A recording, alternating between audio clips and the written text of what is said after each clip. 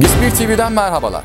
Her hafta olduğu gibi bu haftada gemi inşaat sanayi ve denizcilik sektörüyle ilgili önemli gelişmelerle karşınızdayız. Şimdi dilerseniz gelin bu hafta neler olmuş kısaca bir göz atalım. Çalışma ve Sosyal Güvenlik Bakanlığı müfettişleri GİSBİR Genel Merkezi'nde toplandı. Sektörün yetkilileri bakanlığın önde gelen isimleriyle bir araya geldi. GİSBİR Yönetim Kurulu Başkanı Murat Kıran haftayı değerlendirdi. Şimdi detay. Çalışma ve Sosyal Güvenlik Bakanlığı müfettişleri bu hafta GİSBİR Genel Merkezi'ndeydi.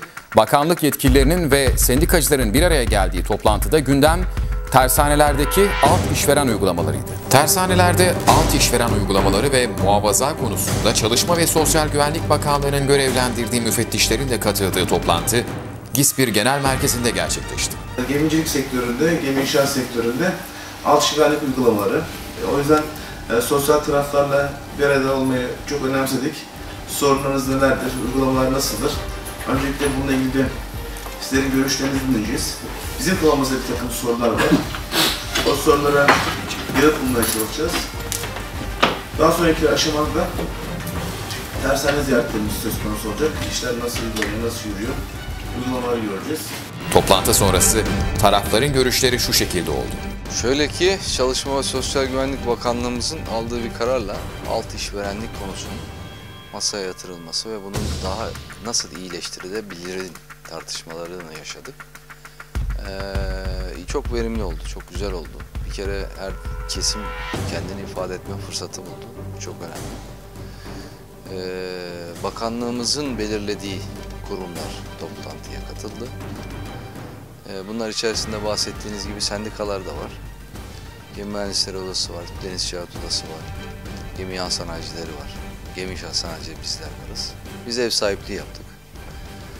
Ee, şöyle ki, zaten biz bu konuya uzun yıllardır çalışıyoruz. Alt işveren standartizasyon diye bir çalışmamız var. Ee, bunu rapor halinde Ankara'ya ilettik idaremize. Biz tabii bunu Ulaştırma Bakanlığı'yla beraber çalışıyorduk. Denizcilik Bakanlığı'yla beraber. Şimdi Çalışma ve Sosyal Güvenlik Bakanlığımıza da bunu sununca çok hoşlarına gitti. Ve bir kopyasını da aldılar. Bu doğrultuda alt işveren yani bizim sektörümüzde aslında olmazsa olmaz olan ki bu dünya raporları böyle söylüyor biz söylemiyoruz. Kaldı ki e, Devlet Denetleme Kurulu'nun yaptığı çalışma da 2008 yılında yaptığı çalışma da bunu söylüyor. Bunu daha modernize, daha kaliteli, daha rekabete uygun şekilde nasıl getirebiliriz? Bunun çalışmaları bugün itibariyle başlamış oldu. Müfettişlerimiz yaklaşık bir hafta süreyle burada olacaklar. Aldıkları bilgileri, doneleri Ankara'ya götürüp çalışmalarına devam edecekler ve bu süreçte sürekli istişare edeceğiz. Bu bizim için çok iyi oldu. E, Sayın Bakanımız tarafından bize bir görev verildi. E, tersane sektöründe gemi yapım imalatında alt işverenlik uygulamalarının araştırılması konulu bir görevimiz var. O amaçla e, buraya geldik. Öncelikle sosyal taraflarla görüşüp konuyla ilgili görüşlerini alıp daha sonra da tersane ziyaretleri planlamayı düşünüyoruz. Bu konuda Dis- GİSPİR'in koordinatörlüğünde bir toplantı organize ettik. Bize ev sahipliği yaptığı için GİSPİR'e teşekkür ediyorum özellikle. tersanelerdeki alt işverenlik uygulamalarının yasal altyapısı eee, sorgulandı. Eee, ve en azından bütün katılımcılar olarak karar verdiğimiz husus eee tersaneler bölgesinde alt işverenlik uygulaması olmazsa olmaz bir şart. Eee, bunların tartışması ve değerlendirmesi yapıldı. Toplantıda alt işveren uygulamalarıyla ilgili eee, sektörün paydaşları olaraktan sendika, eee, gemi yan, yan sanayiciler denetçileri, bakanlık müfettişleri, hiçbir yetkilileri olmak üzere herkes kendi penceresinden bakarak ortak bir paydada buluşuldu. O da şudur, kanunun ve yönetmeliğin daha anlaşılır, daha mufassal bir hale getirilmesidir. Zaten bu konuyla da ilgili GİSPİR'in yapmış olduğu bir çalışma var. Onlar da dikkat aldı. Ama esas toplantının e, sonuçları Çalışma Bakanlığı müfettişleri tarafından zannediyorum kendi üst birimlerine aktarılacaktır. alt işveren yönetmeliğinin e, teknoloji gerektiren, e, uzmanlık gerektiren iş tanımı üzerine yoğunlaşılan bir toplantı oldu. Şöyle bir e, konu var bunu önemli hale getiren. Zaman zaman yönetmelikteki bu maddenin farklı yorumlanması nedeniyle e, hukuk boyutuna da taşınan sorunlar ortaya çıkıyordu. E, bunları nasıl giderebiliriz? Mevzuatta buna yönelik neler yapılabilir? Daha çok e, şey e, toplantının konusu da buydu. Daha çok da bunun üzerinde konuşuldu. Geçtiğimiz hafta Ankara'da çok önemli bir toplantı vardı. Sektörümüzün yetkilileri Ankara'da bakanlığın önde gelen isimleriyle bir araya geldi. Şimdi bu toplantının detaylarını izliyoruz. Tersaneler ve Kıyı Yapıları Genel Müdürlüğü tarafından hazırlanan Tersane, Tekne İmal ve Çekek Yerleri Taslak Yönetmeliğinin son halini müzakere etmek ve görüşmek üzere Müsteşar Yardımcısı Özkan Poyraz Başkanlığında Tersaneler ve Kıyı Yapıları Genel Müdürü Mehmet Kırdağlı, Genel Müdür Yardımcısı Ömer Coşkun, GİSPİR Yönetim Kurulu Başkanı Murat Kıran, Genel Sekreter Süheyl Demirtaş, Genel Sekreter Yardımcısı Ercan Özokutucu, Hukuk Danışmanı Avukat Sevda Çetin, Deniz Ticaret Odası, Yalova Altınova Tersaneleri Anonim Şirketi ve Gemi Mühendisleri Odası temsilcilerinin katıldığı müşterek bir toplantı yapıldı. Toplantıda taslak yönetmelikle ilgili başta GİSPİR olmak üzere sektör paydaşlarının görüş ve önerileri müzakere edildi. İdarenin görüş ve gerekçeleri dinlendi.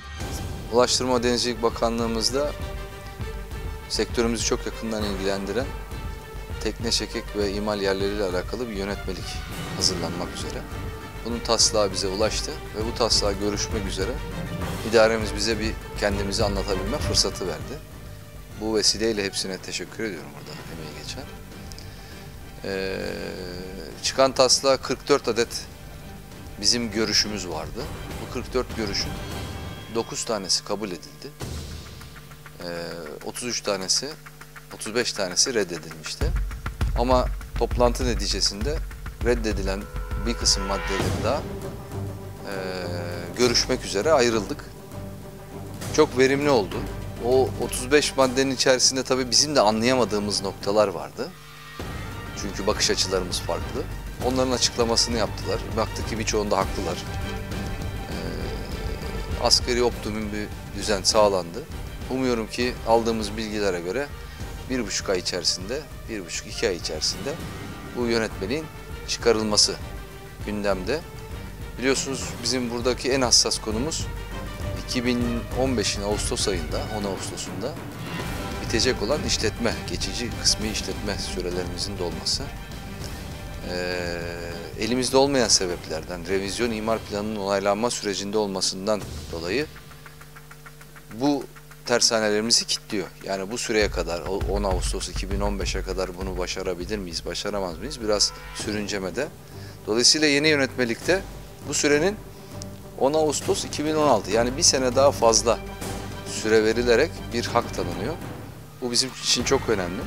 Onun için de bir an önce çıkmasını istiyoruz. Ama bu arada da revizyon imar planı ile alakalı gelişmeleri çok yakın takip ediyoruz. Ee, Çevre Bakanlığımız 13 tane kuruma bunu gönderdi. Bugün aldığımız son bilgilere göre e, son iki kurum kaldı görüşlerini vermeyen. Onların da bir tanesi yola çıktı. Diğeri de çıkmak üzere. Umuyorum ki belki de 2016'ya hiç ihtiyaç kalmayacak. 2015'in Ağustos ayına kadar kalıcı işletme belgelerimizi yani işletme belgelerimizi almış oluruz diye tahmin ediyorum. GİSPİR haftalık olağan yönetim kurulu toplantısı bu haftada GİSPİR Genel Merkezi'nde gerçekleşti. Toplantı sonrası GİSPİR Yönetim Kurulu Başkanı Murat Kıran haftayı değerlendirdi. Bugünkü yönetim kurulumuzda biliyorsunuz olağan her haftaki yönetim kurulumuz e, bugün de gerçekleşti. E, çok yoğun gündemimiz yoktu. Daha çok pekiştirme yaptık. E, çeşitli kararlar aldık. Verimli bir toplantı oldu. Tabii ki Çalışma ve Sosyal Güvenlik Bakanlığı müfettişlerinin ardından bu toplantıyı gerçekleştirdik. Daha çok tabii ki bu toplantıyı masaya yatırdık. Ne yapabilirdik, ne yapabiliriz bunları tartıştık. Umuyorum ki yakın bir zamanda daha güzel şeyler sektörümüzü bekliyor. Şimdi ise sektörümüzde bu hafta neler olmuş hızlıca haftanın panoramasına göz atıyoruz.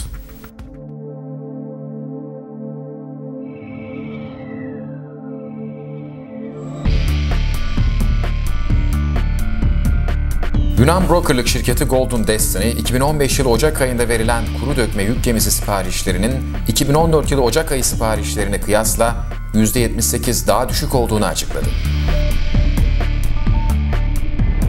Gemi inşa alanında Çin, Japonya ve Güney Kore öne çıksa da Endonezya, Malezya, Filipinler ve son zamanlarda Vietnam gibi Güneydoğu Asya ülkeleri gemi inşaat sanayinde sağlam adımlarla ilerliyor. Antalya'da tersane satın alan Hollanda merkezli Damen tersaneleri, Antalya'da 12 bin metrekarelik bir tesisin daha açılışını gerçekleştirdi. Bu tesiste Damen'in 50 metre uzunluğundaki FCS 5009 modelinin üretimi yapılacak. Haftanın önemli gelişmeleriyle karşınızda olduk. Önümüzdeki hafta görüşünceye dek hoşçakalın.